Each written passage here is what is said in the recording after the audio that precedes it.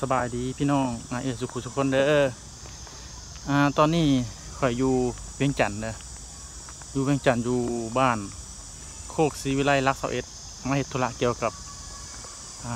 มาสัมภาษณ์เกี่ยวกับบัตรทำงานนั่นนะก็เลยมาแวะพักอยู่โรงแรมแล้วก็ออกมายางตลาดออกมาหาซื้อของกินเนาะมื้อนี้จะพาไปเลาะเมืองตลาดบ้านเมือง แถวรักเสาเอ็ดอยู่เวียงจันทน์เมืองบรรยากาศเมืองบ้านเมือง อยู่แถวเวียงจันทน์นี่เป็นอะไรเนาะเดี๋ยวพาไปเบิ่งน้ำกันเด้อไปก็คืออ่าลักเสาเอ็ดเนี่ยก็คืออยู่ห่างจากเมืองเวียงจันทน์หรือว่าประตูชัยนะประมาณ21กิโลเมตร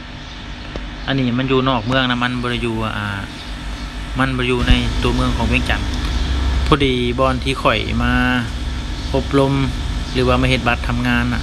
ก็อยู่ลักเสาเอ็ดนี่พอดีครับเพิ่นก็เลยมาพามาพักอยู่โรงแรมแถวนี้ มากับเพื่อนๆประมาณ 13-14 คนนี่แหละ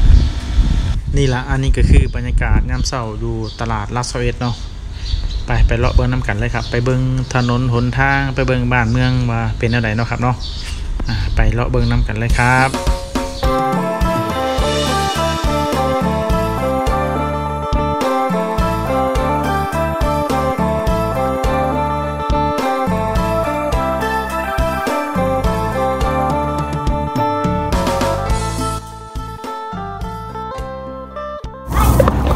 อันละสิบพันเนาะ